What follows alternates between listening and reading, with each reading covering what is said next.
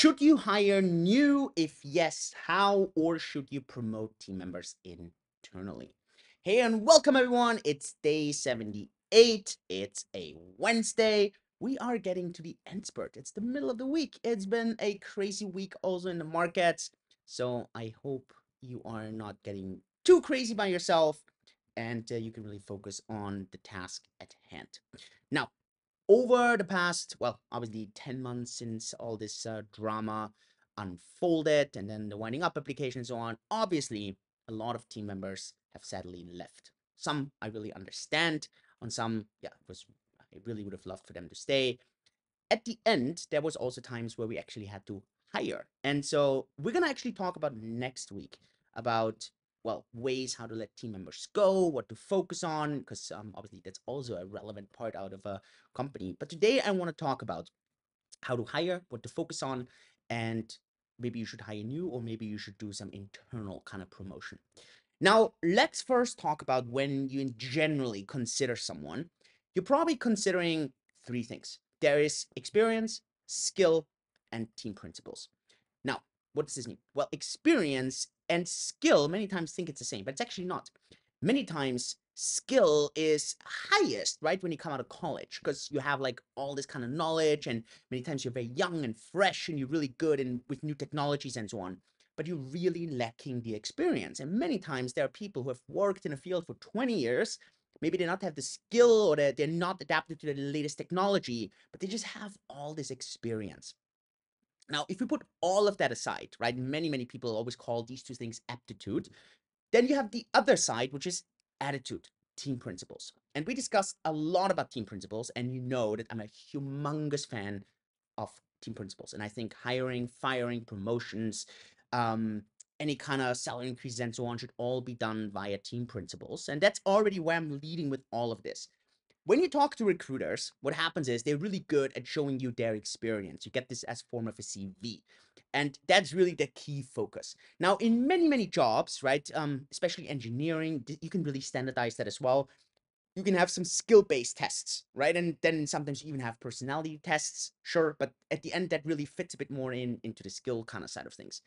The crucial part, at least for me, aside obviously the experience and the skill side, is really kind of the culture side, is the team principle side.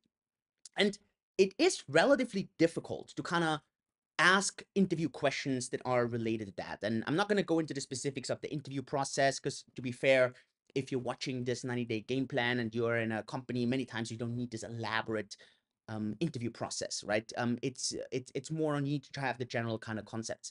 And uh, the idea here is more you need somehow to check the experience. Many times, maybe the recruiter does that. It's very straightforward on the CV. You can do this with background checks as well. Then uh, the other one is the skill based function. This uh, obviously really has a bit to do also with the results that a person can get. Um, obviously, you can test this as well. What the key function is for me has always been these cultural questions. And I can really guide you to one thing who does this really well. Amazon has these so called behavioral questions.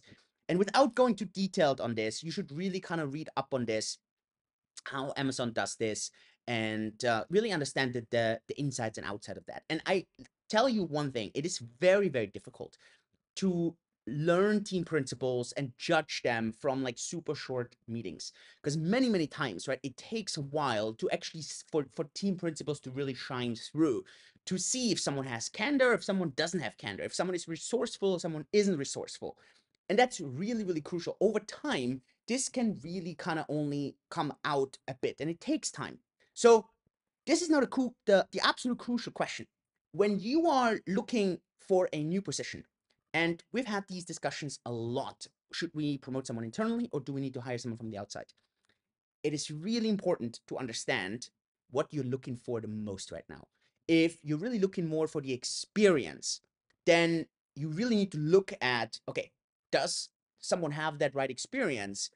If not, then even if someone has the right team principles, if you really need the experience, it's just very difficult to get the experience if someone doesn't have that yet, right? Then you just need to hire from the outside and you really need to do very, very, very good um, team cultural questions to really check for that. Because the worst part is, and I've made these mistakes, I hired people who are very skilled, very experienced, wrong team culture, and it really hurts the team. So you have to do very good kind of questions on that. However, if it's maybe less about the experience, it's really maybe a bit more of the skill set. Maybe the person needs to advance the skill set. Many times when a regular team member becomes a team lead, is a senior team member, becomes like a head off, it's many times not necessarily have the experience. It's more on let's kind of grow together. You need some more skill set. Here, I would almost in promote internally, and I would really look for the right person with the right kind of team principles. Because if you have people who are hungry, who are who want to grow, who are resourceful, they will figure out how to do this, and they will kind of educate themselves to step up and to be, to move into those into this team lead role then I would almost promote internally. So it's not that it's a right or wrong, it's really more on what you're looking for. Uh, just also understand many times you really need to talk to your team member on why you didn't promote them. Was it because the experience is just way more important than anything else? And otherwise, you just have to be frank, right? And it's it's very very tough, especially from the very early small team. Um, when you have this initial core team of five to 10 people, and then suddenly you need to bring in an outsider who becomes a team lead for these team members. And you really have to explain this to them and say, hey, look, you are a 10 out of 10 from team principles, and I know you're super skilled.